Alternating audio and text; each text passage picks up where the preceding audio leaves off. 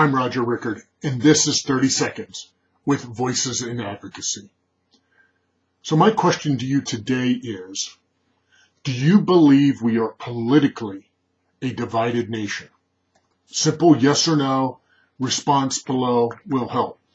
And if you do believe we're a divided nation, any suggestions for what we can do to fix it?